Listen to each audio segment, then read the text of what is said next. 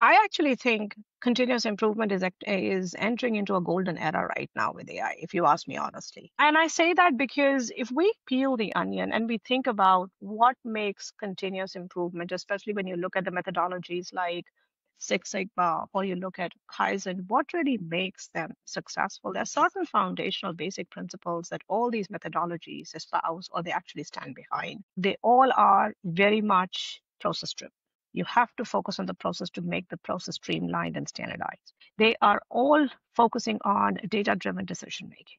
They're all calling into you know, a focus on customer centricity and value.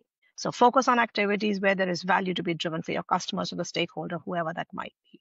They are very much embedded into that, bringing a broad employee engagement broad workforce engagement as you're starting to think about how to improve on your processes. And finally, they are looking into a very much culture of learning.